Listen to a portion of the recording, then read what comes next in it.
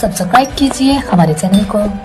और bell icon को दबाइए हमारी लेटेस्ट वीडियो सबसे पहले